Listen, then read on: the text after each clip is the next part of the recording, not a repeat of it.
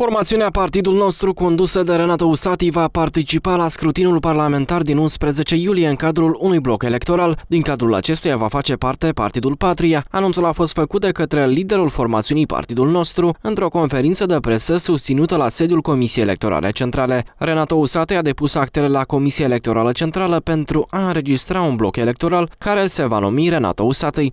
Acum câteva zile, ceva timp în urmă, Consiliile Național Politice partidului nostru și partidului politic Patria au decis să fie creat un bloc electoral. Blocul electoral se va numi blocul electoral Renato Usatei. Toți cunoașteți că Partidul Politic Patria, cu care am participat în alegerile parlamentare în 2014, ulterior a fost exclus, avem decizia CEDO că am fost scoși ilegal din cursă. USAT îi spune că a făcut acest pas pentru a evita provocările legate de apariția mai multor blocuri sau partide în următoarea perioadă. Ca să știți, să fie înregistrate mai multe blocuri, blocuri sporire în această campanie pentru a duce în eroare cetățenii,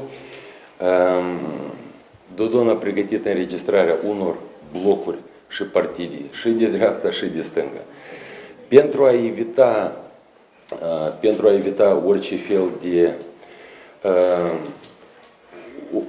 orice fel de provocări de genul ăsta, noi cu colegii am decis să mergem cu blocul electoral Renato Usate. La scrutinul parlamentar din 2014, Renato Usati, care a candidat de pe listele Partidului Patria, a fost scos din cursa electorală. Atunci, în baza unei sesizări de la poliție, Partidul Patria a fost acuzat că a folosit în campanie electorală mijloace bănești cu proveniență din străinătate. Curtea de apel a decis a doua zi scoaterea formațiunii din cursa electorală.